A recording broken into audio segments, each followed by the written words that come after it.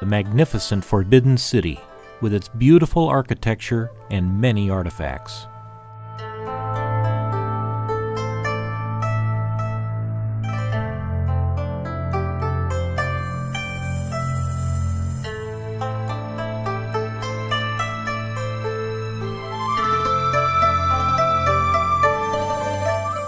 Having undergone a major restoration just prior to the 2008 Olympics, the city appears resplendent.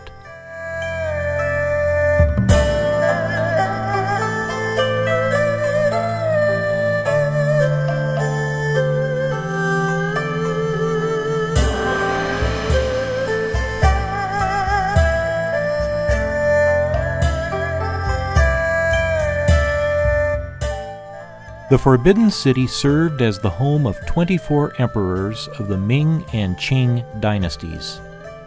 It was called forbidden because it was off limits to commoners who were not permitted even to approach its walls.